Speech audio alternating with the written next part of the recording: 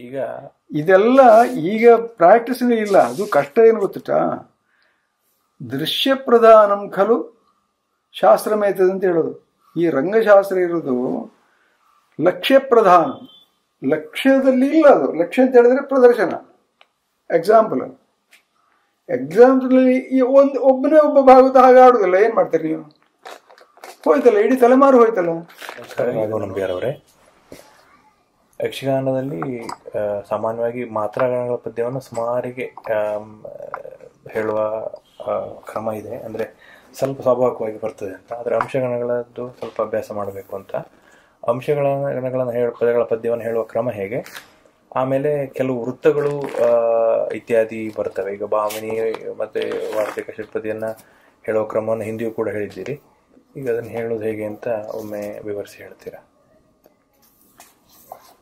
ಅಂಶಗಳನ್ನು ಎಲ್ಲ ತಾಳಗಳಲ್ಲಿ ಹೇಳಲಿಕ್ಕೆ ಬರ್ತದೆ. ಅದು ಹೇಗೆ ಒಂದು ಒಂದು ಉದಾಹರಣೆ ಇಟ್ಕೊಂಡು ನಾವು ಹೇಳ್ಬೋದು ಸಾಮಾನ್ಯವಾಗಿ ಸಾಂಗತ್ಯ ಉಂಟಲ್ಲ ಸಾಂಗತ್ಯ ಅಂತ ಬರುವಂಥದ್ದು. ಅದು ಅಂಶಗಣದಲ್ಲಿ ಅಂಶಗಣದಲ್ಲಿರುವಂಥದ್ದು. ಅಷ್ಟತಾಳ ಪದ್ಯವು ಅಂಶಗಣವೇ. ಹೆಚ್ಚಾಗಿ ಅಷ್ಟತಾಳಗಳು ಅಂಶಗಣದಲ್ಲಿ ಬರುವಂಥದ್ದು. ಅದು ವಿಷ್ಣುಗಣ ಘಟಿತವಾದ್ದು. ಸಾಂಗತ್ಯ. ಒಂದು ಬ್ರಹ್ಮಗಣ ಬರ್ತದೆ. ಎರಡು ಚರಣಗಳಲ್ಲಿ ಒಂದೊಂದು ಬ್ರಹ್ಮಗಣ ಬರ್ತದೆ. ಈಗ ಸಾಂಗತ್ಯ ಕೃಷ್ಣ ಸಂಧಾನದ ಪದ್ಯ. ಚರಣಾಬ್ಜದೆಡೆಯಲ್ಲಿ ನರನು ಕೈ ಮುಗಿದು ನಿಂದಿರಲು ಗೋ ಒಳರಾಯ ನೀತ. ಅದು ಬ್ರಹ್ಮಗಣ ಮತ್ತೆಲ್ಲ ವಿಷ್ಣುಗಣಗಳು ಅರಸುಗಳ್ ತಾವೆಂದು ಮೌಳಿಯ ಬಳಿಯಲ್ಲಿ ಕುರುಭೂಪ ಕುಳ್ಳಿರ್ದ ನಾಗ. ಅದು ಬ್ರಹ್ಮಗಣ ಉಳಿದದೆಲ್ಲ ವಿಷ್ಣುಗಣಗಳು ಅಂದರೆ ಒಂದು ಸಾಲಿನಲ್ಲಿ ನಾಲ್ಕು ವಿಷ್ಣುಗಣಗಳು ಬರ್ತವೆ. ನೋಡಿ, ಚರಣಾಬ್ಜ ಒಂದು ವಿಷ್ಣುಗಣ ಆಯಿತು. ದೆಡೆಯಲ್ಲಿ ನರನೂ ಕೈ ಮೂರನೇ ವಿಷ್ಣುಗಣ ನಾಲ್ಕನೇದು, ಮುಗಿದು ನಿಮ್. ಈಗ ನಾಲ್ಕು ವಿಷ್ಣುಗಳಾಯಿತು ಹಾಗೆ ಎರಡನೇದರಲ್ಲಿ, ದಿರಲು ಗೋ, ಒಳರಾಯ. ಎರಡು ವಿಷ್ಣುಗಳಾಯಿತು. ನೀತ, ಬ್ರಹ್ಮಗಣ. ಹಾಗೆ ಅರಸುಗಳು ತಾವೆಂದು ಅದು ಹೇಳಿದಲ್ಲ. ಈಗ ಇದನ್ನು ಸಪ್ತ ತಾಳಕ್ಕೆ ಹೇಗೆ ನಾವು ಬಳಸೋದು? ಅದಕ್ಕಿಂತ ಮುಂಚೆ ಈ ಮೊದಲನೇ ಗಣವನ್ನ ಒಂದು ವಿಷ್ಣು ಗಣವನ್ನು ಓದುವ ಕ್ರಮವನ್ನು ಅಂತ ಹೇಳ್ತೀರಾ ನೀವು? ಅಂದ್ರೆ ಚರ ನಾಬ್ಜ ಅದರಲ್ಲಿ ಚರ ಒಟ್ಟಿಗೆ ಬರಬೇಕು. ಹಾ. ರಾ ಆಗಬಾರದು. ನಾಬ್ಜ ಅದನ್ನ ಎರಡು ಸ್ವಲ್ಪ ಅದರಲ್ಲಿ ಸ್ವಲ್ಪ ಎರಡು ಅಂಶಗಳು. ಹೊಂದಾಣಿಕೆ ಮಾಡಬಹುದು ಎರಡು ಅದು ಹೇಗೆಂದ್ರೆ ವಿಷ್ಣುಗಣ ಆಗಬೇಕಾಗಿದ್ರೆ ಒಂದು ಮೂಲ ಅಂಶ. ಮತ್ತೆ ಎರಡು ಅಂಶಗಳು. ಮೂಲ ಅಂಶ ಅಂದ್ರೆ ಏನು? ಒಂದು ದೀರ್ಘಾಕ್ಷರ ಅಥವಾ ಎರಡು ಹ್ರಸ್ವಾಕ್ಷರಗಳು. ಆಮೇಲೆ ಒತ್ತಕ್ಷರ ಹಿಂದಿನ ಅಕ್ಷರ ಲಘು ಆದರೂ ಕೂಡ ಅದು ಮೂಲಾಂಶ ಸಿಕ್ಕಿದ ಸಿಕ್ಕಿದ ಅಂತಾರೆ ಅಲ್ಲಿ ಸಿ ಅನ್ನೋದು ಒಂದು ಲಘು ಇರೋದು ಆದರೆ ಲಘು ಅಲ್ಲ ಅದು ಸಿಕ್ಕಿದ ಕೀಗೆ ಒತ್ತಕ್ಷರ ಇರೋದ್ರಿಂದ ಅದು ತನ್ನಷ್ಟಕ್ಕೆ ಗುರು ಆಗ್ತದೆ ಸಿ ಅನ್ನೋದು ಅಂದ್ರೆ ಒಂದು ಗುರು ಅಕ್ಷರ ಮೂಲಾಂಶ. ಈ ಗುರು ಆಗಲಿಕ್ಕೆ ಎರಡು ದಾರಿಗಳು ಮೂರು ದಾರಿಗಳು. ಒಂದು ದೀರ್ಘ ಆಗಿರೋದು, ದೀರ್ಘ ಅಕ್ಷರ ಆಗಿರೋದು. ಇನ್ನೊಂದು ಎರಡು ಲಘು ಅಕ್ಷರಗಳು, ಅಂದ್ರೆ ಎರಡು ಹ್ರಸ್ವಾಕ್ಷರಗಳು ಅದು ಯಾವಾಗಲೂ ಜೊತೆ ಕಡಿಲಿಕ್ಕಿಲ್ಲ. ಅದು ಒಟ್ಟು, ಒಟ್ಟಿಗೆ ಬರಬೇಕು. ನಾನು ಓದುವಾಗ ನೀವು ಗಮನಿಸಿರ್ಬೋದು ಆಮೇಲೆ ಇನ್ನೊಂದು, ಒತ್ತಕ್ಷರದ ಹಿಂದಿನ ಅಕ್ಷರ, ಅದು ಹ್ರಸ್ವವಾದರೂ ಗುರು, ಅದು. ಅದು ಮೂಲಾಂಶ ಆಗ್ತದೆ. ಆ ಮೂಲಾಂಶ ಆದ ಮೇಲೆ ಎರಡು ಅಂಶಗಳು, ಅದು ದೀರ್ಘವೂ ಆಗ್ಬೋದು, ಹ್ರಸ್ವವೂ ಆಗ್ಬೋದು. ಒತ್ತಕ್ಷರ ಆಗ್ಬೋದು ಅದಿಲ್ಲದೆ ಒಂದೇ ಅಕ್ಷರ ಆದರೂ ಆಗ್ತದೆ. ಅದೆಲ್ಲೂ ಒಂದು ಅಕ್ಷರವಾಗಿ ತಗೊಳ್ಳೋದು. ಅಂದರೆ ಒಂದು ಸಾರಿ ಒಂದು ಅಂಶವಾಗಿ ತಗೊಳ್ಳೋದು. ಅಂದರೆ ಒಂದು ಮೂಲಾಂಶ ಮತ್ತು ಎರಡು ಅಂಶಗಳು. ಎರಡು ಸೇರಿದಾಗ ವಿಷ್ಣುಗಣ ಆಗ್ತದೆ ಆ, ಮೊದಲನೇ ಮೂಲ ಅಂಶ ಮತ್ತು ಮೂರು ಅಂಶಗಳು ಸೇರಿದರೆ ಅದು ರುದ್ರಗಣ ಆಗ್ತದೆ ಒಂದು ಮೂಲ ಅಂಶ ಮತ್ತು ಒಂದು ಅಂಶ. ಅದು ಸೇರಿದರೆ ಒಂದು ಬ್ರಹ್ಮಗಣ ಆಗ್ತದೆ ಈಗ ಅಲ್ಲಿ ಅಲ್ಲಿ ವೈ, ವೈಶಿಷ್ಟ್ಯ ಏನಂತ ಹೇಳಿದ್ರೆ ಆ ಅಂಶಗಳು ದೀರ್ಘ ಆದರೂ, ಹ್ರಸ್ವ ಆದರೂ ಒಂದೊಂದು ಅಂಶ ಆಗಿರೋದ್ರಿಂದ ನಿಮಗೆ ನಾದವನ್ನು ಎಳೆಯುವ ಎಲ್ಲ ಸೌಕರ್ಯಗಳು ಉಂಟು ಅದರಲ್ಲಿ. ಈಗ ಉದಾಹರಣೆಗೆ ಬ್ರಹ್ಮಗಣಕ್ಕೆ ನಾಲ್ಕು ಆಪ್ಷನ್ಗಳಿದೆ? ಆಮೇಲೆ ವಿಷ್ಣುಗಣಕ್ಕೆ ಈ ಎರಡು ಹ್ರಸ್ವ ದೀರ್ಘ ಆಗುವಂಥದ್ದು ಎಂಟು ಆಕ್ಷನ್ ಆಪ್ಷನ್ಸ್ ಬರ್ತವೆ ರುದ್ರಗಣಕ್ಕೆ ಹದಿನಾರು ಆಪ್ಷನ್ಗಳು ಬರ್ತವೆ. ಅದು ನಾನು ಇದರಲ್ಲಿ ಕೊಟ್ಟಿದ್ದೇನೆ. ಇದರಲ್ಲಿ ಹಿಮ್ಮೇಳ ಪುಸ್ತಕ ಹಿಮ್ಮೇಳ ಪುಸ್ತಕದಲ್ಲಿ ಉಂಟು. ಅದರಲ್ಲೆಲ್ಲ ಕೊಟ್ಟಿದ್ದೆ ನಾನು. ಅದು ನೋಡ್ಬೋದು. ಹಾಗೆ ಈ ಆಪ್ಷನ್ಸ್ ಹೆಚ್ಚು ಇರುವುದರಿಂದ ನಿಮಗೆ ತಾಳವನ್ನು ಹಾಡುವಾಗ ಗಾನಕ್ರಿಯೆಯಲ್ಲಿ ವೈವಿಧ್ಯಗಳನ್ನು ತುಂಬ ತರಲಿ ಸಾಧ್ಯ ಇದೆ. ಅದಕ್ಕೋಸ್ಕರ ಹಾಗೆ ಮಾಡಿದೆ ನಾನು. ಈಗ ಇದನ್ನು ಸಪ್ತತಾಳಕ್ಕೆ ಹೇಗೆ ತಗೊಳ್ಳುವುದು ಅಂದರೆ ಇಲ್ಲಿ ಇದನ್ನು ಇದು ನಿಜವಾಗಿ ರೂಪಕ ತಾಳಕ್ಕೆ ಹೊಂದು ಹೊಂದುವಂತಹ ಒಂದು ರಚನೆ ಇದು. ಚರಣಾಬ್ಜ ದೆಡೆಯಲ್ಲಿ ಅಲ್ಲಿ ಎರಡು ಎರಡು ವಿಷ್ಣುಗಣಗಳದು ಚರಣಾಬ್ಜ ದೆಡೆಯಲ್ಲಿ ನರನು ಕೈ ಮುಗಿದು ನಿಮ್ ಬಿರಲು ಗೋ ಒಳರಾಯ್. ನೀತ ನೀತ, ಅಂದ್ರೆ ವಿಷ್ಣುಗಣದಷ್ಟೇ ಆ ಬ್ರಹ್ಮಗಣವನ್ನು ಎಳಿಬೇಕು. ಯಾಕೆಂದರೆ ಅದು ಯಾಕೆ ಹಾಗೆ ಮಾಡು ಅಂತ ಹೇಳಿದ್ರೆ, ಮುಂದೆ ಬದಲಾವಣೆ ಆಗುದಿದ್ರೆ ನಮಗೆ ಹಾಡುವರಿಗೆ ಸ್ವಲ್ಪ ಗ್ಯಾಪ್ ಕೊಡಬೇಕಾಗ್ತದೆ. ಇಲ್ಲ ಮೊದಲಿಗಾರ ಕಷ್ಟಪಡ್ತಾನೆ.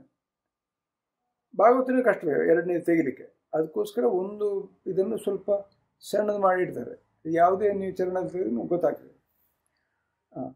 ಇನ್ನು ಇದರಲ್ಲಿ ಚರಣಾಬ್ಜ, ಚರ್ ನಾಬ್ಜ ಅಲ್ಲಿ ಏನ, ಏನ್ ಮಾಡಿದ್ರು? ನಾಬ್ಜ ಚರಣಾಬ್ಜ. ಸ್ವಲ್ಪ ಏಳಿಲಿಕ್ಕೆ ಉಂಟು ಅಥವಾ ಪಾಸ್ ಕೊಡ್ಲಿಕ್ಕಿದೆ. ಚರಣಾಬ್ಜದೆಡೆಯಲ್ಲಿ ಸ್ವಲ್ಪ ಸ್ವರವನ್ನು ಸೆಳೆದು ಮಾಡ್ತೇವೆ ನಾವು. ಯಾಕೆಂದ್ರೆ ಅಷ್ಟು ಒತ್ತಿಲ್ಲ ಅಂತ ಅರ್ಥ. ಇಲ್ಲಾದ್ರೆ ದೀರ್ಘ ಆಗಿಬಿಡ್ತೇವೆ. ಚರಣಾಬ್ಜ ಅಂತ ಹೇಳಿದ್ರೆ ಅದು ದೀರ್ಘ ಆಗಿಬಿಡ್ತದೆ. ದೀರ್ಘ ಆಗದ ಹಾಗೆ ಆ ಸ್ವರವನ್ನು ಸ್ವಲ್ಪ ಸಣ್ಣದು ಮಾಡ್ತೇವೆ. ಚರಣಾಬ್ಜ ಎಲ್ ಆ ದೆಡೆಯಲ್ಲಿ ಅಂದರೆ ಚೂರು ಮುಂದಿನ ವಿಷ್ಣು ಗಣಕ್ಕೆ ಅಂತ ನಾವು ಕೊಡ್ತೇವೆ ಅದನ್ನು. ಯಾವುದು? ಒತ್ತಿ ಹೇಳ್ತಾರೆ ಚರಣಾಬ್ಜದೆಡೆಯಲ್ಲಿ ನರನು ಕೈ ಮುಗಿದು ನಿಂದಿರಲು ನಿಮ್ ಇಲ್ಲಿ ಈಚಿಂದ ಆಚೆಗೆ ಶಿಫ್ಟ್ ಮಾಡೋದು. ನಿಂದಿರಲು ಗೋವಳರಾಯನೀತ ಅಷ್ಟು ಹೇಳ್ತೇವೆ ಯಾಕೆ? ವಿಷ್ಣು ಗಣದಷ್ಟು ಗಾತ್ರ ಹೇಳ್ತೇವೆ ಅರಸುಗಳ್ ತಾವೆಂದು ಮೌಳಿಯ ಬಳಿಯಲ್ಲಿ ಕುರುಭೂಪ ಕುಳ್ಳಿರ್ದ ನಾಗ. ಆಯ್ತಾ? ಈಗ ಇದನ್ನು ತೋಡಿಯಲ್ಲಿ ಹೇಳಬಹುದು ಚರಣಾಬ್ಜದೆಡೆಯಲ್ಲಿ ನರನು ಕೈ ಮುಗಿದು ನಿಂದಿರಲು ಗೋವಳ ರಾಯನೀತ. ಅರಸುಗಳ್ ತಾವೆಂದು ಮೌಳಿಯ ಬಳಿಯಲ್ಲಿ ಕುರುಭೂಪ ಕುಳ್ಳಿರ್ದ ನಾಗ ಅಥವಾ ಇನ್ನು ಇಲ್ಲಿ ಪರಂಪರೆಯಲ್ಲಿ ಒಂದು ಕ್ರಮ ಇದೆ. ಎರಡನೇ ಭಾಗವನ್ನು ತ್ವರಿತ ತೆಗಿತಾರೆ. ಚರಣಾಬ್ಜದೆಡೆಯಲ್ಲಿ ನರನು ಕೈ ಮುಗಿದು ನಿಂದಿರಲು ಗೋವಳರಾಯನೀತ. ಅರಸುಗಳಾವೆಂದು ಮೌಳಿಯ ಬಳಿಯಲ್ಲಿ ಹುಳುಬು ಪಾಗುಳ್ಳಿರ್ತಾನಾಗ ತೋಳಿನ ಈ ಒಂದು ಕ್ರಮ ಇದೆ. ಹಳೆ- ಕ್ರಮ ಅದು. ಅದು ಒಂದು ಇದು ಬರ್ತದೆ. ಅಲ್ಲಿ ಕೂಡ ಇದು ಅಷ್ಟು ತಾಳಕ್ಕೆ ಅದನ್ನು ಟರ್ನ್ ಮಾಡಿದೆ. ಈಗ ಇದನ್ನು ಅಷ್ಟತಾಳಕ್ಕೆ ಮಾಡಬೇಕು ಇಟ್ಕೊಳ್ಳಿ. ಆಗ ಏನು ಮಾಡ್ಬೇಕಂದ್ರೆ ಅಷ್ಟು ಅಷ್ಟತಾಳಕ್ಕೆ ಹದಿನಾಲ್ಕು ಅಕ್ಷರ ಆಗ್ತದೆ. ಈಗ ಇದು ಆರು ಅಕ್ಷರಕ್ಕೆ ನಾವು ತಗೊಂಡೋಗಿ ಅಲ್ವಾ? ರೂಪಕ ತಾಳ ಅಷ್ಟತಾಳಕ್ಕೆ ಆಗುವಾಗ ಹದಿನಾಲ್ಕು ಅಕ್ಷರ ಹೇಗೆ ತೆಗೆಯೋದು ಅಂದರೆ ಎರಡು ವಿಷ್ಣು ಗಣಗಳನ್ನು ಒಟ್ಟಿಗೆ ಮಾಡಿ ಅದನ್ನು ಹದಿನಾಲ್ಕು ಅಕ್ಷರಗಳಿಗೆ ವಿತರಿಸಬೇಕು. ಹೇಗೆ? ಐದು ಐದು ಎರಡು ಎರಡು. ಅದು ಹೇಗೆ ಮಾಡೋದು? ಇಲ್ಲಿಗೆ ಚರಣ ಚರಣಾಬ್ಜದೆಡೆಯಲ್ಲಿ. ಇದು ಅಷ್ಟು ಸಲ ಆಯ್ತು. ಚರಣಾಬ್ಜ ಚರಣಾಬ್ಜ ದೆಡೆಯಲ್ಲಿ ಅಲ್ಲಿ ವಿತರಣೆ ಉಂಟಲ್ಲ, ಅದು ಮೂರು, ನಾಲ್ಕು, ಮೂರು, ನಾಲ್ಕಾಗಿ ಹೋಗ್ತದೆ ಅದು, ಅದರಲ್ಲಿ. ಹದಿನಾಲ್ಕು ಅಕ್ಷರ ಉಂಟಲ್ಲ, ಅದನ್ನ ಏಳು ಅಕ್ಷರ ಮಾಡಿ, ಏಳು ಅಕ್ಷರವನ್ನು ಮೂರು, ನಾಲ್ಕು, ಮೂರು, ನಾಲ್ಕೇ ತಗೊಂಡು ಹೋಗುವಂಥದ್ದು. ಅಂದರೆ ಮೂಲವಾಗಿ ಮೂರನ್ನು ನಾಲ್ಕಕ್ಕೆ ಜೋಡಿಸುವ ಮೂರು ನಾಲ್ಕು ಉಂಟಲ್ಲ? ಏಳು ಏಳು ಅಕ್ಷರವನ್ನು. ಏಳು ಅಕ್ಷರ, ನಾಲ್ಕು ಮೂರು ಮಾಡಿದರೆ ಏಳು ಅಕ್ಷರ ಕೇಳಿದರೆ ಕೇಳಿದ್ರೆ ಹಾಗೆ ಆಗಲಿಕ್ಕಿಲ್ಲ. ಮೂರು, ನಾಲ್ಕು ಅಂತೇಳಿ ಬರಬೇಕು. ಅಥವಾ ಮೂರು, ಎರಡು ಎರಡು, ಹಾಗೆ ಬರಬೇಕು. ಮೂರು, ಎರಡು ಎರಡು ಮಾಡಿದರೆ ತ್ರಿವಿಡ ರೀತಿಯಲ್ಲಿ ಹೋಯಿತು. ಮೂರು, ನಾಲ್ಕು ಮೂರು, ನಾಲ್ಕು ಮಾಡಿದರೆ ಅಷ್ಟು ತಾಳದ ಎರಡನೇ, ಎರಡು ಭಾಗಗಳ ಒಂದು ಅಂತ ಆಗ್ತದೆ. ಆಯ್ತಾ? ಅದರಲ್ಲೀಗ ಚರ, ನೋಡಿ, ಚರ ಒಂದು ಅಕ್ಷರದಷ್ಟು ನಾವು ಸ್ವರವನ್ನು ಕೂಡಿಸಿದೆವು. ಚರ ನಾಬ್ಜ ಎಲ್ಲಿ, ನರ ನರ, ಅದು ಮೂರನೇ ಅಕ್ಷರ ಸರ್.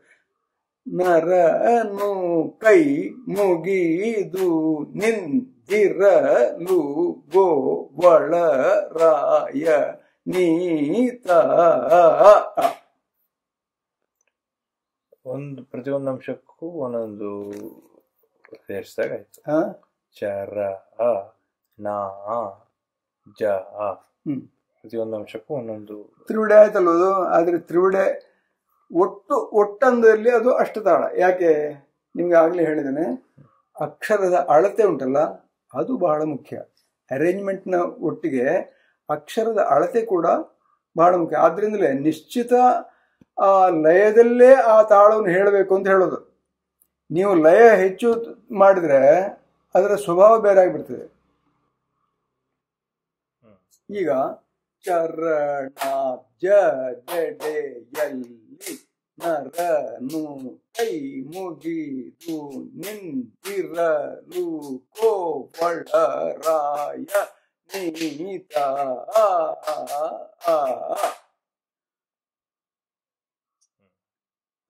ಇದು ಆಮೇಲೆ ಇನ್ನು ತ್ರಿವಿಡೆ ಇದನ್ನು ತ್ರಿವಿಡೆ ಮಾಡುದು ಹಾಗಾದ್ರೆ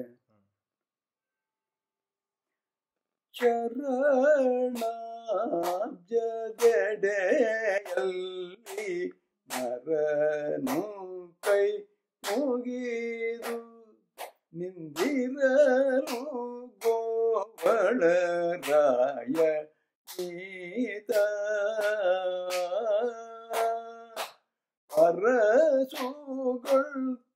ಅರಸುಗೊಳ್ತಾವೆಂದು ಮೌಳಿಯ ಬಳಿಯಲ್ಲಿ ನಾಮ್ತ ತದ್ದಿನ್ನಾಮ್ತ ಕುರೂರಾಯ ಕುಳ್ಳಿರ್ದನಾಗ ತೋಮ್ತ ದಿನ್ನತ್ತಾಗಿಡ ಬಹಳ ಚಂದ. ಆಯ್ತಾ? ಅಲ್ಲಿ ಮುಗಿತು. ಅದು ಅಂದ್ರೆ ಅಲ್ಲಿ ಅಕ್ಷರ ಸೈಜ್ ದೊಡ್ಡದಾಗಿದೆ ಈಗ. ಚರಣಾಬ್ಜ ದೆಡೆಯಲ್ಲಿ. ಚರಣ ಚರಣ ಚರಣಾಬ್ಜ ದೆಡೆಯಲ್ಲಿ. ಅಲ್ಲಿ ಎರಡು. ನಿಮಗೆ ಅಲ್ಲಿ ಎರಡು ವಿಷ್ಣುಗಳನ್ನು ಸೇರದೆ ಅಷ್ಟದಳ ಆಗುವುದಿಲ್ಲ. ಯಾಕೆ? ಯಾಕೆ ಆಗುವುದಿಲ್ಲ? ಇಲ್ಲಿಗೆ ನಾವು ಏನು ಮಾಡಿದೆವು? ತ್ರಿವಿಡೆ ಆಗುವಾಗ ಬರೀ ಒಂದು ವಿಷ್ಣುವನ್ನೇ ಮಾಡಿದ್ವು. ಒಂದು ವಿಷ್ಣು ಗಣವನ್ನು ಮಾತ್ರ ಏಳು ಅಕ್ಷರವಾಗಿ ನಾವು ವಿಭಜಿಸಿದ್ವು. ಅಲ್ಲಿಗೆ ನಾವು ಹದಿನಾಲ್ಕು ಅಕ್ಷರಕ್ಕೆ ಎರಡು ವಿಷ್ಣುಗಳನ್ನು ಸೇರಿಸಿ ಅಷ್ಟದಳ ನಾವು ಹೇಳಿದಲ್ಲ ಅದನ್ನು? ತಕ್ಕ ತಗಿಟ್ಟು ಹೇಳಿದಲ್ಲ ಇಲ್ವಾ? ತಕ್ಕ ತಗಿಟ ಅಂತ ಹೇಳಿ ಹೇಳಿಲ್ಲ ಹೇಳಿಲ್ಲ. ಈಗ ತಕ್ಕ ತಕೀಟ ತಕ್ಕ ತಕೀಟ ತಕ್ಕ ಧೀಮೆ ಅಷ್ಟು ತಾಳಲ್ವಾ. ಚರಣ. ಹೇಳಿ ಹೇಳೈತಲ್ಲ. ಚರಣಾಬ್ಜದೆಡೆಯಲ್ಲಿ ನರನು ಕೈ ಮುಗಿದು ನಿಂದಿರಲು ಗೋವಳರಾಯ ರಾಯ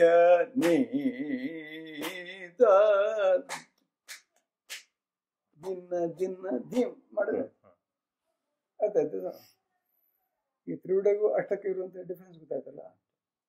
ಆದ್ರೆ ಯಾವುದರಲ್ಲೂ ಆ ಮೂಲ ಅಂಶ ಬೇರೆ ಆಗ್ಬಾರ್ದು. ಅಂಶವನ್ನು ನೀವು ಸ್ಪಷ್ಟವಾಗಿ ಕಾಣಿಸ್ಬೇಕಾಗ್ತದೆ. ಆದರೆ ಅಷ್ಟು ತಾಳ ಮಾಡುವಾಗಲೂ ಅಂಶ ಯಾವ್ದನ್ನ ಮೂಲಾಂಶ ಮೂಲಾಂಶ ಯಾವಾಗಲೂ ಎರಡು ಲಘು ಇದ್ರೆ ಮೂಲಾಂಶದಲ್ಲಿ ಅದು ಒಟ್ಟಿಗೆ ಒಟ್ಟಿಗೆ ಅದು ಇದ್ರಲ್ಲಿ ಗೊತ್ತಾಗಿಲ್ವ ಈಗ? ಎಲ್ಲದರಲ್ಲೂ ಎಲ್ಲ ಸ್ಪಷ್ಟ ಉಂಟಲ್ಲ? ಹೌದು. ಅಷ್ಟತಾಳ ಆಯ್ತು. ಈಗ ಇದನ್ನ ಅರಸುಗಳಲ್ಲಿ ನಾವು ತ್ವರಿತಾಷ್ಟ ಹೇಳಿದೆ ಹೌದು. ಅರಸುಗಳ ತಾವೆಂದು ಮೌಳಿಯ ಬಳಿಯಲ್ಲಿ ಹುಡುಗುಬಾಗುಳ್ಳಿದ್ದ ನಾಗ ಓ ದಿನ ಕೃದಿನ ದೈತ ದಿನ ದಿನ ಹೇ. ಆಯ್ತಾ? ಜಂಪೆಯಲ್ಲಿ ರೂ- ರೂಪ ಇನ್ಯಾವುದು ರೂಪಕ್ಕಾಯ್ತು ಜಂಪೆ. ಜಂಪೆ ಆಗಬೇಕು. ಜಂಪ್ ಹೇಗಂದ್ರೆ ಹ್ಮ್.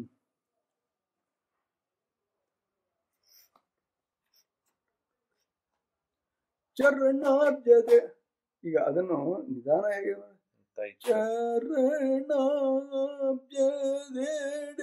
ಚರಣಾಬ್ಜದೆಡೆಯಲ್ಲಿ ನರನು ಕೈ ಮೋಗಿದು ನಿಂದಿರಲು ಗೋವಳರಾಯ ಗೀತ. ಅರಸುಗಳ ತಾವೆಂದು ಮೌಳಿಯ ಬಳಿಯಲ್ಲಿ ಅರಸುಗಳು ತಾವೆಂದು ಮೌಳಿಯ ಬಳಿಯಲ್ಲಿ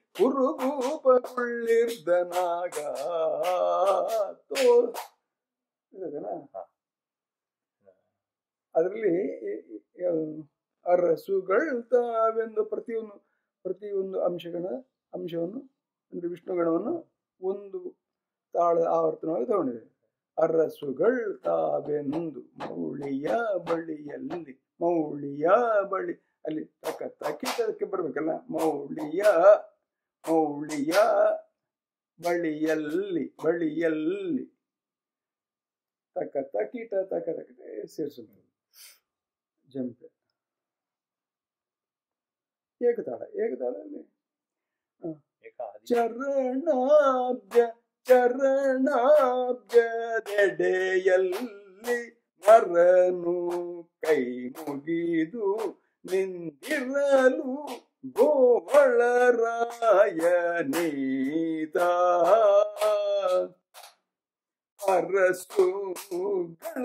ಅರಸುಗಳ್ತಾವೆಂದು ತಿತ್ತಿತ್ತೈ ತಿತ್ತಿತ್ತೈ ಅರಸುಗಳ್ತಾವೆಂದು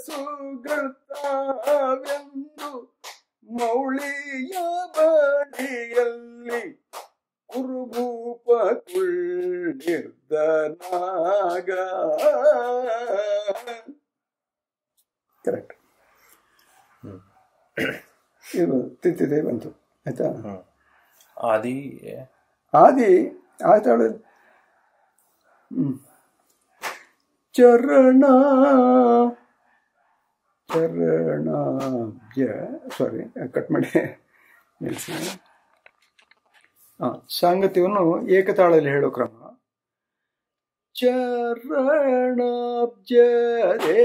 ಚರಣಾಬ್ಜದೆಡೆಯಲ್ಲಿ ನರನು ಕೈ ಮುಗಿದು ನಿಂದಿರಲು ಗೋವಳ ರಾಯನೀತ ಅರಸುಗಳ ತಾವೆಂದು ಮೌಳಿಯ ಬಳಿಯಲ್ಲಿ ಕುರುಭೂಪ ಕುಳ್ಳಿರ್ದ ನಾಗ. ಹ್ಮ್ ಅಷ್ಟೇ ಇದು ಹೂವಗುಳ್ಳಿತ ನಾಗ ಇದು ಈಗ ಹೇಳೋ ಕ್ರಮದಲ್ಲಿ ಕುಳ್ಳಿತ ನಾಗ ಅದು ತೊಂದರೆ ಇಲ್ಲ. ಅದು ತೊಂದರೆ ಇಲ್ಲ. ಅದು ನೀವು ಇದರಲ್ಲಿ ಆ ತಾಳದ ಮುಕ್ತಾಯಕ್ಕೆ ಸರಿಯಾಗಿ ಹೊಂದಿಸುವ ಸಂದರ್ಭ ಇದೆ. ನಾನು ತಾಳಕ್ಕೆ ಸರಿಯಾಗಿ ಹೇಳಿದೆ ಅಷ್ಟೇ ಅಷ್ಟೇ. ಇರಲಿ.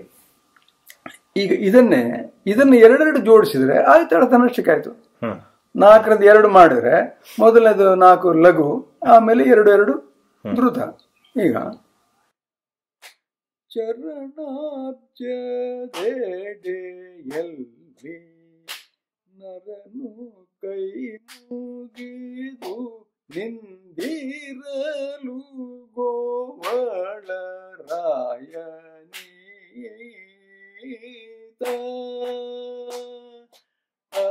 ಅರಸುಗಳು ತಾವಿತ್ತಿತೆ ಮೌಳಿಯ ಬಳಿಯಲ್ಲಿ ಕುರುಭೂಪ ಕುಳ್ಳಿರ್ದ ನಾಗ ಕುರುಭೂಪ ಕುಳ್ಳಿರ್ದ ನಾಗ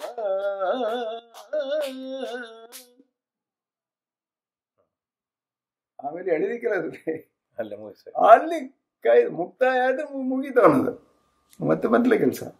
ಮುಕ್ತಾಯದ ಪೆಟ್ಟು ಮುಗಿದ ಮೇಲೆ ಭಾಗವತ ಸ್ವರ ಎಳೆಯಬಾರದು ಎಳಿಬಾರದು.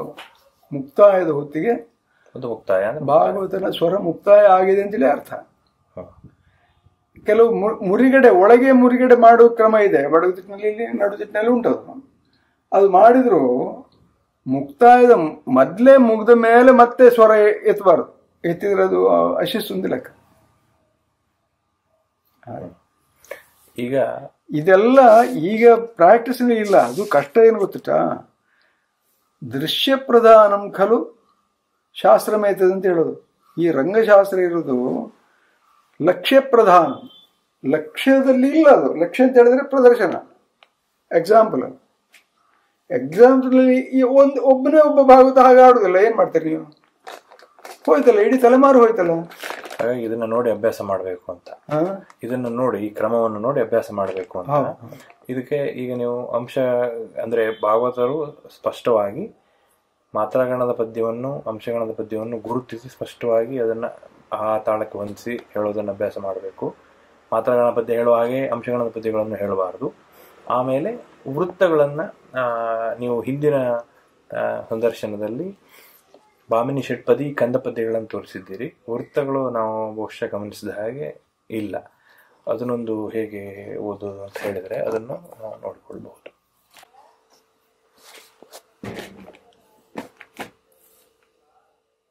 ಹಾ. ಶಾರ್ದೂಲ ವಿಕ್ರೀಡಿತ ವೃತ್ತ ಬಹಳ ಪ್ರಸಿದ್ಧವಾದ ಯಕ್ಷಗಾನದಲ್ಲಿ. ಅದು ಅಕ್ಷರ ವೃತ್ತ ಅಂತ ಲೆಕ್ಕ. ಇದಂದ್ರೆ ಮಾತ್ರ ಲೆಕ್ಕಾಚಾರ ಅಲ್ಲ ಅದು. ಅಕ್ಷರಗಳದ್ದು. ಅಕ್ಷರಗಳ ಗಣ. ಹೇಗೆ ಅಂಶಗಣ ಉಂಟೋ, ಅದೇ ಥರ ಅಕ್ಷರಗಣ. ಅದು ಸಂಸ್ಕೃತದಲ್ಲಿ ಬಹಳ ಪ್ರಸಿದ್ಧವಾದ್ದು. ಒಂದು ಸಾಲಿನಲ್ಲಿ ಎಷ್ಟು ಅಕ್ಷರಗಳು ಅಂತ ಲೆಕ್ಕ ಇದೆ. ಅದರ ಸರಿಯಾಗಿ, ಅದಕ್ಕೆ ಸರಿಯಾಗಿ ಬರುವಂಥದ್ದು. ಇದು ಹತ್ತೊಂಬತ್ತು ಅಕ್ಷರಗಳ ಒಂದು ಗಣ, ಒಂದು ವೃತ್ತ. ಅದು ಹೇಗೆ? ಅದರಲ್ಲಿ ನಗಣ ಸಗ ಐಮ್ ಸಾರಿ ತಪ್ಪು, ತಪ್ಪಾಗಿದೆ. ಈ ಹನ್ನೊಂದು ಅಕ್ಷರ ಐಮ್ ಸಾರಿ ಇಲ್ಲ. ನೋಡಿ ಕಟ್ ಮಾಡಿ ಕಟ್ ಮಾಡಿ. ಹತ್ತೊಂಬತ್ತು ಅಕ್ಷರಗಳನ್ನು ಗಣಗಳಾಗಿ ವಿಭಾಗಿಸಿದ್ದಾರೆ ಹೇಗೆ? ಮಗಣ, ಸಗಣ, ಜಗಣ, ಸಗಣ, ತಗಣ ತಗಣ, ಗುರು. ಗ ಅಂತ ಇದು. ಅಂದ್ರೆ ಹನ್ನೆರಡು ಅಕ್ಷರಗಳು ಮತ್ತು ಏಳು ಅಕ್ಷರಗಳಿಗೆ ಎರಡು ಖಂಡಗಳು. ಅಂದರೆ ಹನ್ನೆರಡು ಅಕ್ಷರ ಆದ ಕೂಡಲೇ ಅಲ್ಲಿ ಯತಿ ಬರ್ತದೆ. ಎರಡನೇ ಭಾಗ ಏಳು ಅಕ್ಷರದ್ದು. ಹೀಗೆ. ಈಗ ಅದನ್ನು ಹೇಗೆ ಅದರ ಲಕ್ಷಣ ಹೇಗೆ ಅಂತ ಹೇಳಿದ್ರೆ ಮಗಣ ಅಂದ್ರೆ ಯಮಾತ ರಾಜಬಾನ ಸಲಗಂ ತುಳಿ ಉಂಟಲ್ಲ ಅದು ನಿಮ್ಗೆ ಗೊತ್ತಿದೆಯಲ್ಲ? ಅದರ ಸರಿಯಾಗಿ ಆ ಗಣಗಳು ನಿರ್ಣಯ ಆಗೋದು. ಅದರ ಪ್ರಕಾರ ನಮ್ಮ ಕನ್ನಡದಲ್ಲಿ ಕೂಡ ಕನ್ನಡ ಭಾಷೆಯಲ್ಲಿ ಈ ವೃತ್ತವನ್ನು ಬರೆದಿದ್ದಾರೆ ಹೇಗೆ ಈ ಉದಾಹರಣೆಗೆ ಸೀತಾಭಾರದ ಪದ್ಯ ಮಾರೀಚಮ್ಮಿಗವಾಗಿ ಉಂಟಲ್ಲ ಅದು.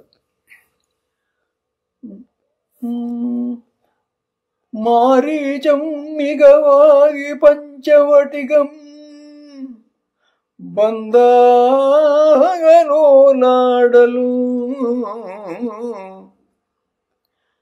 ಸೌರಮ್ಯಾತಿಶಯ ಪ್ರಧಾನ ಕರದಿಯೂ ಕಂಡಾಗಲ ಜಾನಕಿ. ಇಲ್ಲಿ ಎರಡು ಸಾಲಿನಲ್ಲಿ ಕೂಡ ಯತಿ ಇರುವಲ್ಲಿ ನಾನು ನಿಲ್ಲಿಸಿದ್ದೇನೆ. ಎಲ್ಲಿ ಅಂದ್ರೆ ಮೊದಲನೇ ಮೊದಲನೇ ಎಷ್ಟಂದ್ರೆ? ಹನ್ನೆ- ಹನ್ನೆರಡು ಅಲ್ಲ? ಹನ್ನೆರಡು ಆದ್ಮೇಲೆ ಹನ್ನೆರಡು ಅಕ್ಷರ ಆದ ಕೂಡಲೇ ಅಲ್ಲಿ ಯತಿ ಬಂದಿದೆ. ಅಲ್ಲಿ ನಿಲ್ಲಿಸಿದೆ ಆ ಎರಡರಲ್ಲೂ ನಿಲ್ಲಿಸಿದೆ ನಾನು ಅದೇ ಹೇಳುವಾಗ. ಇನ್ನು ಅದನ್ನು ಗಮನಿಸಿ.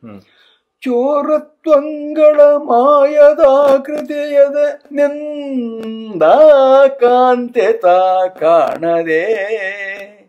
ಅಲ್ಲಿ ನೆನ್ ಇಲ್ಲಿ ಎಂದು ಅಂತ ಇದು, ಎಂದ, ಎಂದು ಆ ಇದ್ದದ್ರಲ್ಲಿ ಆ ದಾವನ್ನು ಸೇರಿಸಿ ಅದಕ್ಕೆ ಯತಿ ಈಚೆ ಭಾಗವನ್ನು ಇಟ್ಟಿದೆ. ಭೂರೇ ವಿಸ್ಮಿತೆಯಾಗಿ ಕಾಂತನೊಡನು ತಾ ದೈನ್ಯದಿಂತೆಂದಳು ಆ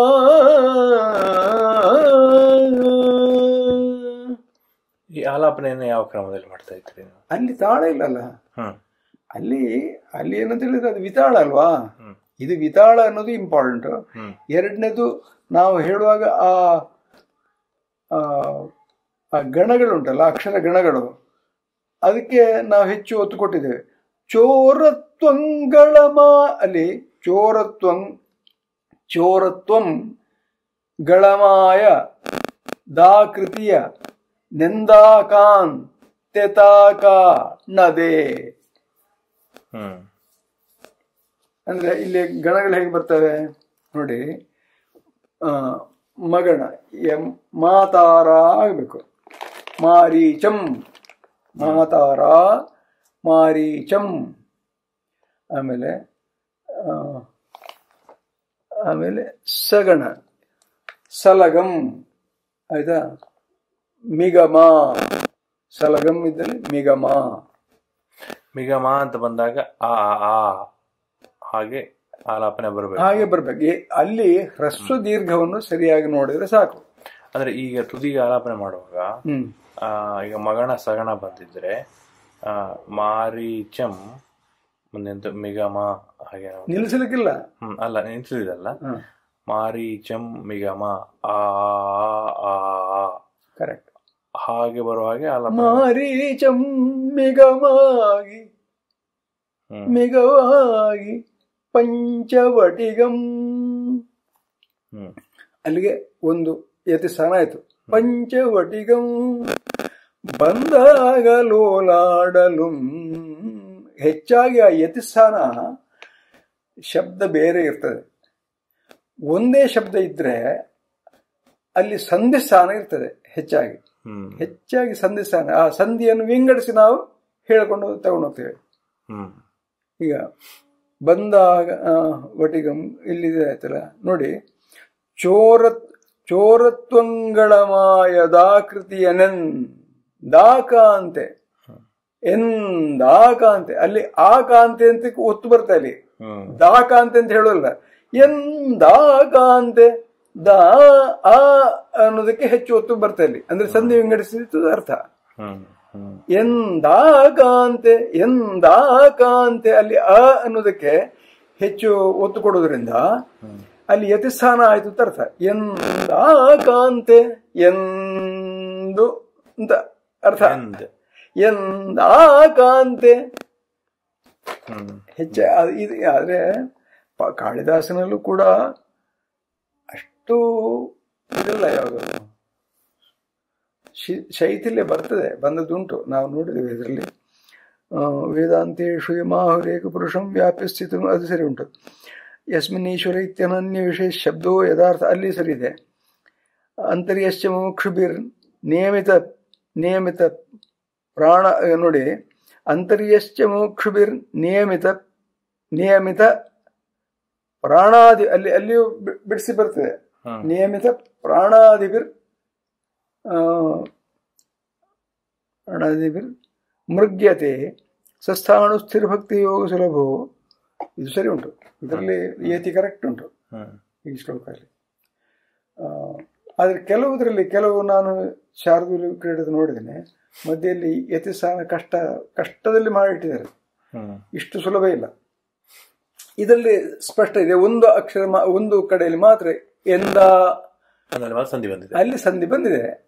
ಬಂದ್ರೆ ಅಲ್ಲಿ ನಾವು ಏನ್ ಮಾಡಬೇಕು? ಹೇಳುವಾಗ ಆ ಅರ್ಥಕ್ಕೆ ಹೆಚ್ಚು ಒತ್ತು ಕೊಟ್ಟು ಎಂದಾಗ ದಾಕಾಂತೆ ಅಂತೇಳಿ ದಾಕಾಂತೆ ಮಾಡಬಾರ್ದು. ಎಂದಾಕಾಂತೆ ನೋಡಬೇಕು. ಮಾಡ್ಬೇಕು ಹಾಗೆ ಮಾಡುವ ಅಂದ್ರೆ ಈಗ ನೀವು ಹೇಳೋದನ್ನ ಸ್ವಲ್ಪ ವಿಸ್ತರಿಸಿದ್ರೆ ಅಂದ್ರೆ ಈಗ ಇದು ಈಗ ಶಾರ್ದೂಲ ವಿಕ್ರೀಡತಕ್ಕೆ ಆಯ್ತು. ಈಗ ಮತ್ತೆ ಮತ್ತೆ ಇರ್ಬೋದು ಬೇರೆ ವೃತ್ತಗಳಿರ್ಬೋದು ನೂರಾರು ವೃತ್ತಗಳಿದ್ದಾವಲ್ಲ ಇರಬಹುದು. ಅದರಲ್ಲಿ ಇದನ್ನು ಹೇಳಲಿಕ್ಕೆ ಒಂದು ಫಾರ್ಮುಲಾ ಅಂತ ಹೇಳಿದ್ರೆ ಒಂದು ಹ್ರಸ್ವದೀರ್ಘವೇ ಮತ್ತೆ ಹ್ರಸ್ವ ದೀರ್ಘವನ್ನು ಹ್ರಸ್ವ ದೀರ್ಘವೇ ಬೇರೆ ಏನಿಲ್ಲ ಆದ್ರೆ ಯತಿ ಯತಿ ಸ್ಥಾನವನ್ನು ಹೇಳಬೇಕು. ಯತಿ ಸ್ಥಾನ ಇರ್ತದೆ. ಅಲ್ಲಿ ಬಯೋಫರ್ಕೇಶನ್ ಇರಬೇಕು. ಸಾಮಾನ್ಯ ಹ್ರಸ್ವ ದೀರ್ಘ ಒತ್ತಕ್ಷರ ಇತ್ಯಾದಿಗಳನ್ನು ಇಟ್ಕೊಂಡು ಅದರ ಒಟ್ಟು ಸಂಯೋಜನೆ ಮಾಡಬೇಕು. ಆಮೇಲೆ ಆಲಾಪ ಮಾಡಬೇಕಾದ್ರೆ ಆಲಾಪನೆಗೂ ಅಷ್ಟು ಇಲ್ಲ ಯಾಕೆ?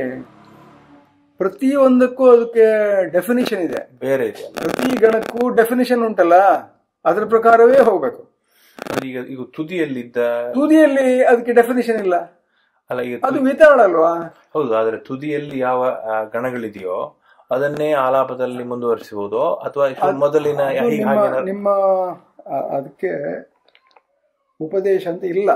ಅದನ್ನು ಗಮನಿಸಿ ಚಂದಕ್ಕೆ ನೋಡಿ. ಅಷ್ಟೇ ಅದು ನಿಮ್ಮ ನಿಮ್ಮ ಗಮಕ ಅಲ್ಲಿ ಹೇಗೆ ಹೋಗಿದೆ? ನಿಮ್ಗೆ ಲಯ ಯಾವ ಲಯದಲ್ಲಿ ಹೋಗಿದೆ? ಎಲ್ಲ ಒಂದೇ ಲಯದಲ್ಲಿ ಅಲ್ಲ.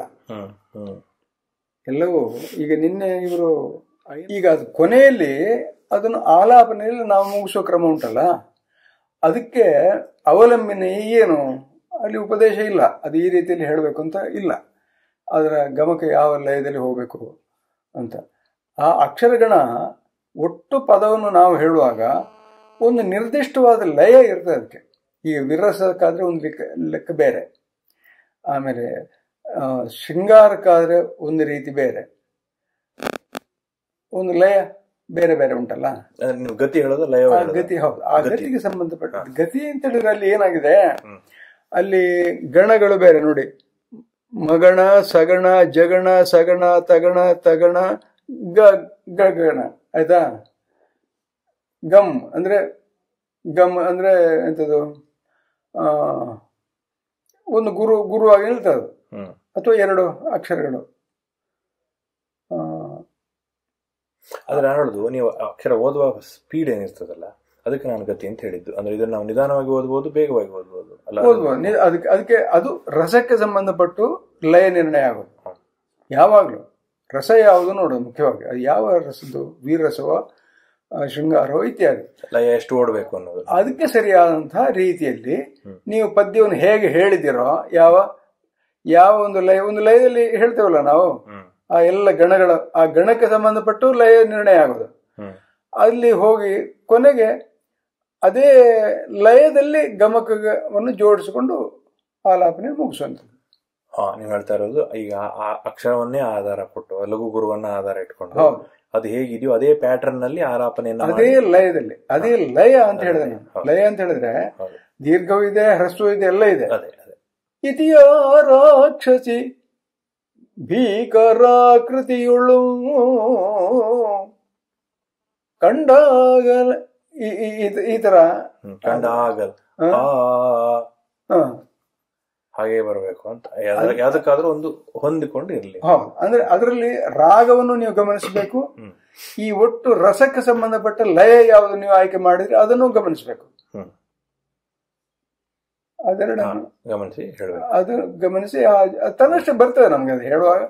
ಬಾಕಿ ಉಳಿದದ್ದು ಹೇಳಿದ ಅಭ್ಯಾಸದಲ್ಲಿ ಅದಕ್ಕೆ ಅದಕ್ಕೆ ನಿರ್ದಿಷ್ಟವಾದ ಉಪದೇಶ ಅಂತ ಇಲ್ಲ.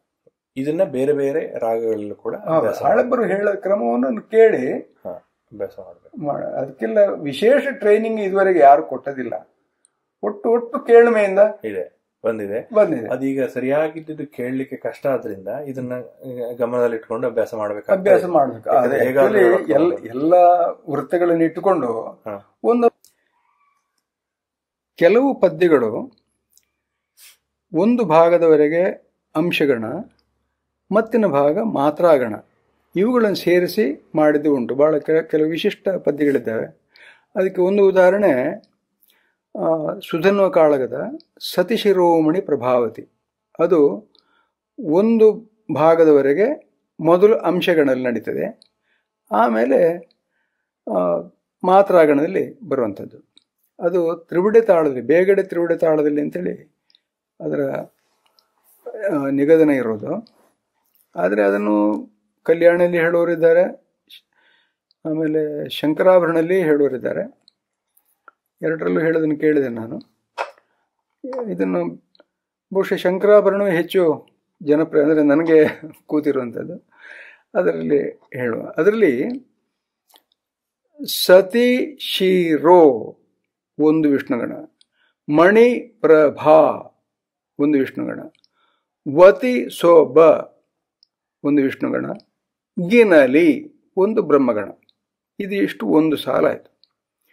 ಆಮೇಲೆ ರತಿ ಯಸೋ ಲಿಪ ರೂಪಿ ನತಿ ಸೋಬ ಗಿನಲಿ ರತುನಾಭ ರಣಗಳ ದ್ಯುತಿ ಬೇಳ ಗುತಲಿ. ಪ್ರತಿಮದ ಗಜದಂತೆ ಗತಿಯನಿ ಡುತಲಿ ಚತುರತೆ. ಇಲ್ಲಿ, ಇಲ್ಲಿವರೆಗೆ ಅಂಶಗಳಾಯಿತು. ಇನ್ನು ಇಲ್ಲಿಂದ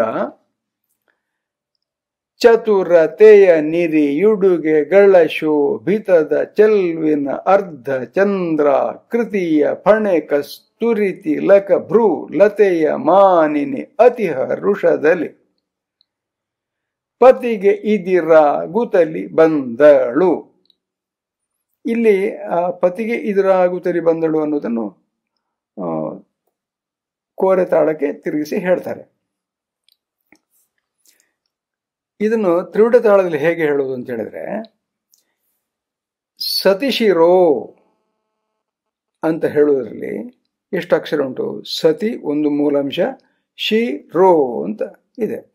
ಇದನ್ನು ಏಳು ಅಕ್ಷರವಾಗಿ ನಾವು ಹೇಳಬೇಕಾಗ್ತದೆ. ಹೇಗೆ? ಏಳು ಅಕ್ಷರ ಅಂತ ಹೇಳಿದರೆ ಮೂರು, ನಾಲ್ಕಾಗಿ ಅದನ್ನು ವಿಂಗಡಿಸುವಂಥದ್ದು. ಆಗ ಇಲ್ಲಿ ಅಕ್ಷರ ಎಲ್ಲಿಂಟು? ಸತಿ, ಆಗ ಸತಿ ಅನ್ನೋ ಎರಡು ಅಕ್ಷರಕ್ಕೆ ಲಘುವಿನ ಮೂರನೇ ಅಕ್ಷರವಾಗಿ ಒಂದು ಅ ಅನ್ನು ಸೇರಿಸ್ಬೇಕು ನಾವು. ಅದು ಹೇಗೆ ಹೇಳಬೇಕು ಅದು ಅವೋ ಅಥವಾ ಆ ಅನ್ನೋ ಸೇರ್ಪಡೆಯೋ ಅಥವಾ ಒಂದು ಪಾಸ್ ಕೊಡೋದೋ ಇವೆರಡರ ನಡುವೆ ಉಂಟದು. ಅದನ್ನು ಬಹಳ ಕೌಶಲಭರಿತವಾಗಿ ಅಲ್ಲಿ ತುಂಡಾಗಿದೆ ಅಂತ ಗೊತ್ತಾಗಬಾರ್ದು. ಆದರೆ ಮೂರು ಅಕ್ಷರ ಕಾಲ ಜಾಗ ಸಿಗಬೇಕು ಅದರಲ್ಲಿ ಈ ರೀತಿ ಒಂದು ಕೌಶಲ ಅದರಲ್ಲಿ ಇದೆ. ಅದು ಹೇಗೆ ಹೇಳೋದಂದ್ರೆ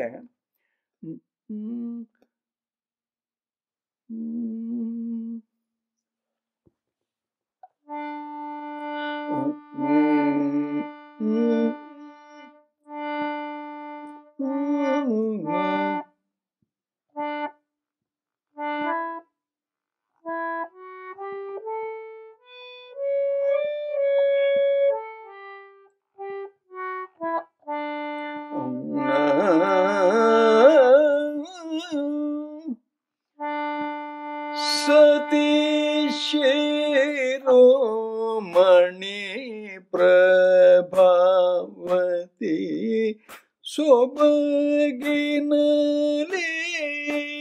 ಸತೀಶಿರೋಮಣಿ ಪ್ರಭಾವತಿ ಸೊಬಗಿನಲಿ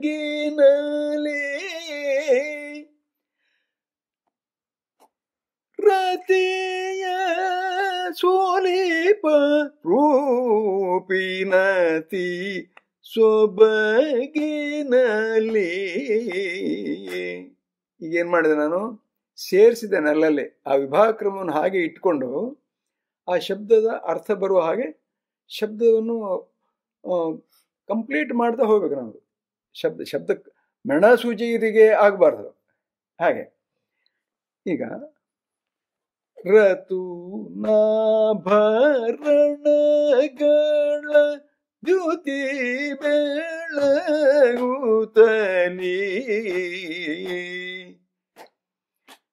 ಪ್ರತಿಮದ ಗಜದಂತೆ ಗತಿಯ ನೀಡುತ್ತಲೇ ಚತುರತೆಯ ನಿರಿಯುಡುಗೆಗಳ ಶೋಭಿತದ ಚಲ್ವಿನ ಅರ್ಧ ಚಂದ್ರಾಕೃತಿಯ ಪಣೆ ಕಸ್ತೂರಿ ತಿಲಕ ದೇಯ ಮಾನಿನಿ ಅತಿ ಹರುಷದಲ್ಲಿ ಪತಿಗೆ ಇತಿರಾಗುತ್ತಲ್ಲಿ ಬಂದಳು. ಮಾನಿನಿ ಅತಿ ಹರುಷದಿ ಪತಿಗೆ ಇದಿರಾಗುತ್ತಲ್ಲಿ ಬಂದಳು. ಈಗ ಇದು ಪಾಪ್ಯುಲರ್ ರೀತಿಯಲ್ಲಿ ಹಾಗಿರ್ಲಿಕ್ಕಿಲ್ಲ, ಬಹುಶಃ ಬೇರೆ ರೀತಿಯಲ್ಲಿ ಉಂಟು. ಆದ್ರೆ ಇದು ಶಾಸ್ತ್ರೀಯವಾದ ಕ್ರಮ. ಮತ್ತು ಸಿಕ್ಕಾಬಟ್ಟೆ ಅದು ಎಳಿಲಿಕ್ಕೆ ಎಲ್ಲ ಅಲ್ಲಿ ಇಲ್ಲ. ಯಾಕೆಂದರೆ ಇದು ಈ ಕಳೆದ ಐವತ್ತು ವರ್ಷಗಳಲ್ಲಿ ಒಂದು ಅಬದ್ಧ ಮಾಡ್ತಾ ಬಂದಿದ್ದಾರೆ. ನಮ್ಮ ಪ್ರಸಿದ್ಧ ಮೇಳಗಳು ಕೂಡ ಮಾಡಿದ್ದಾರೆ. ಅಂತ ಹೇಳಿದ್ರೆ, ಪ್ರಭಾವತಿ ಅವಳು ಮುಖ್ಯಶ್ರೀ ವೇಷ ಅಲ್ಲ ಅವಳು. ಅವಳು ವೇಶ್ಯ ವೇಷ ಅಲ್ಲ ಅದು. ಸುಮಂಗಲಿ ವೇಷ ಅಲ್ಲ ಅದು. ರಾಣಿ ಅವಳು. ಅಲ್ಲಿ ಉಂಟಲ್ಲ ಏನಿದೆ?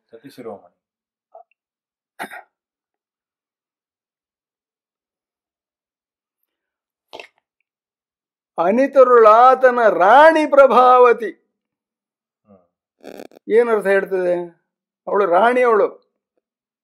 ಅವನ ರಾಣಿ ಸುಧನ್ವನ ರಾಣಿ ಅವಳು.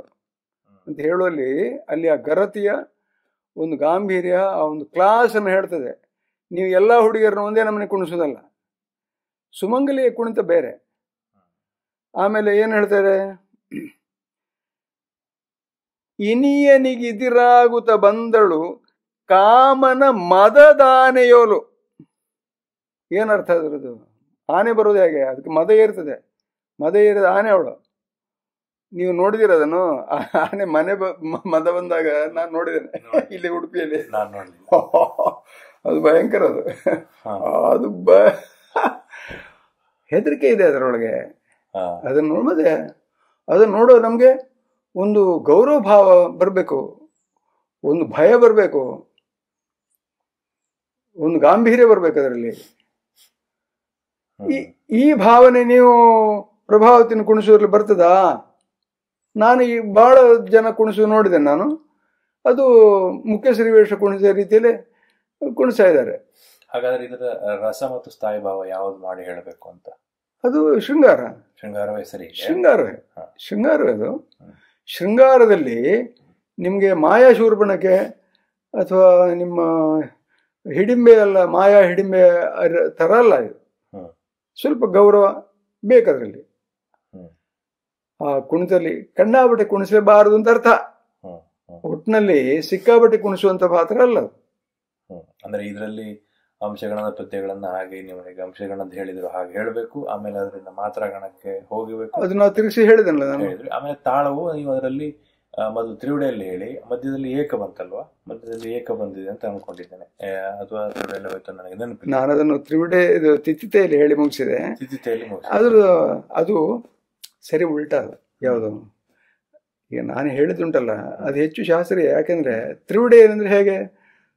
ತಕದಿಮ್ಮಿ ತಕಿ ಹೌದು ತಕಿಟ್ಟ ತಕಿಟ ತಕದಿಮಿ ಅಲ್ವಾ ತಕಿಟ್ಟ ತಕದಿಮಿ ತಕದಿಮಿ ತಕಿಟಕ್ಕೆ ತಗೊಂಡೋಯ್ತು ಅಲ್ಲೇ ಉಲ್ಟಾ. ಅಂದ್ರೆ ತ್ರಿವಿಡೆಯಿಂದ ಕೋರೆಗೆ ಹೋಗುವುದು ಕೋರೆಗೆ ಹೋದ್ದು ಒಂದೇ ಲಯ ಹೆಚ್ಚು ಸ್ವಾಭಾವಿಕ ಹಾ ಹೆಚ್ಚು ಸ್ವಾ- ಸ್ವಾಭಾವಿಕ ಮತ್ತು ಹೆಚ್ಚು ಹೊಂದಿಕೆ ಇರುವಂತ ಒಂದು ಕ್ರಮ. ಆ, ಮಧ್ಯದಲ್ಲಿ ಆ ಕ್ರಮ ಇದೆ. ತ್ರಿವಿಡೆಯಿಂದ ತಿತ್ತಿತೆಗೆ ಹೋಗುವ ಕ್ರಮ ಇದೆ. ಹೌದು. ಮತ್ತೆ ಏಕತಾಳ ಮಾಡಿ ಅದು ಮತ್ತೆ ಏಕತಾಳ ಮಾಡಿ ಆಮೇಲೆ ತಿಥಿಗೆ ತಗೊಂಡು ಹೋಗುವಂಥದ್ದು. ಅದು ಮಾಡೋ ತಪ್ಪೇನಿಲ್ಲ. ಕ್ರಮ ಇದೆ ಅದೊಂದು. ಹೇಳೋ ಕ್ರಮ ಇದೆ. ನಾನು ಆ ರೀತಿಯಲ್ಲಿ ಹೇಳಿದ್ದೇನೆ. ಅದನ್ನು ನೀವು ಇಷ್ಟು ಬಂದಾಗ ಮಾಡ್ಬೋದು. ಅಂದರೆ ಆ ಸಂದರ್ಭಕ್ಕೆ ಬೇಡುವ ಹಾಗೆ ಬೇಡ ಹಾಗೆ ಅದನ್ನು ನೀವು ಮಾಡ್ಬೋದು. ಒಂದು ವಿಶಿಷ್ಟ ಪದ್ಯ ಇದೆ ಯಾವುದ್ರಲ್ಲಿ? ಪಂಚವಟಿಯಲ್ಲಿ. ಚಂದದಿಂದ ಬಂದ ಲಬ್ಜಲೋಚನೆ ಅಂತ ಇರುವಂಥದ್ದು. ಈಗ ಸಾಮಾನ್ಯವಾಗಿ ಪಾಪ್ಯುಲರ್ ಸಿಂಗಿಂಗ್ ಹೇಗೆ ಅಂತ ಹೇಳಿದ್ರೆ ಚಂದದಿಂದ ಬಂದಳಬ್ಜಲೋಚನೆ ರಾಮಚಂದ್ರ ಪೇಳಿದಂಥ ಮಾತಿನಂದವನ್ನು ಬಣ್ಣಿಸುತ್ತ ಚಂದದಿಂದ ಬಂದ ಲಬ್ಜಾಲೋಚನೆ. ಹೆಚ್ಚು ಕಟ್ ಮಾಡಿದೆ ನಾನು. ನಿಲ್ಲಿಸಿದೆ. ಹೀಗೆ ಹೇಳೋ ಕ್ರಮ. ನಿಜವಾಗಿ ಅದು ಅದರ ರಚನೆ ನೋಡಿದ್ರೆ ಹಾಗೆ ಹೇಳುವಂಥ ಪದ್ಯ ಅಲ್ಲ ಅದು. ಈಗ ಆನಂದಮುಖಿ ಸುಂದರಾಂಗಿ ಮಂದಗಾಮಿನಿ. ಆನಂದಮುಖಿ ನಂದಮುಖಿಯಲ್ಲಿ ಪದ್ಯಕ್ಕೆ ಪದ್ಯದಲ್ಲಿ ಚರಣಕ್ಕೆ ಇರೋದು ನಂದ. ಹಾಗಾದ್ರೆ ಆ ಯಾವುದು? ಅದು ಅನಾಗತ, ಆಚೆಯಿಂದ. ಇದು ಇರೋ, ಆಚೆ ಆವರ್ತನಲ್ಲಿ ಇರುವಂಥದ್ದು ಕೊನೆಯದು.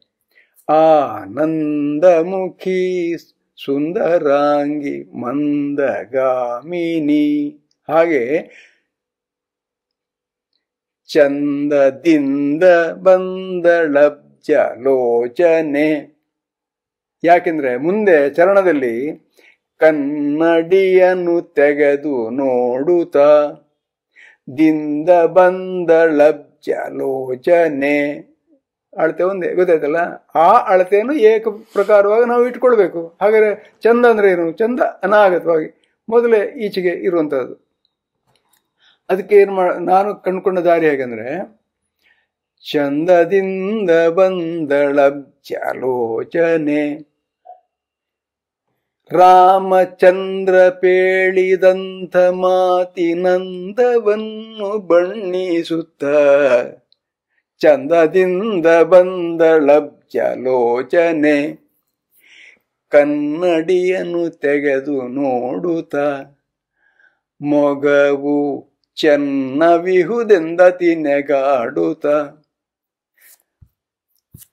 ತನ್ನುಳ್ತಾನೆ ಮಾತನಾಡುತ್ತ ತನಗೆ ಕನ್ನೆಯರೊಳಗೆಣೆಯಿಲ್ಲೆನ್ನುತ್ತ ಚಂದದಿಂದ ಬಂದಳಬ್ಜ ಲೋಚನೆ ಒಂದನೇದು, ಅದು ಲಯ ಬಿರುಸಾಗಿರ್ತದೆ ಲವಲವಿಕೆಯಿಂದ ಇರ್ತದೆ ಮತ್ತು ತ್ವರತೆ, ತ್ವರೆ ಇರ್ತದೆ. ಲಕ್ಷ್ಮಣನನ್ನು ಕೂಡಲೇ ಕಾಣಬೇಕು ಅನ್ನುವಂತಹ ಒಂದು ತ್ವರೆ ಅಲ್ಲಿ ಆವೇಶ ಇರ್ತದೆ.